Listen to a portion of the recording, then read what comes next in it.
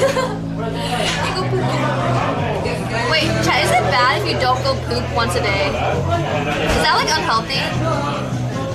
Cause I was like trying today and like it just wouldn't work. I don't know if it's like the time zone, like the jet lag or something, but I don't know if that's like unhealthy. Yes. Probiotics. It's okay. You poop three times. More fiber. Did anyone else eat the fiber one bar, like the brownies, like candy?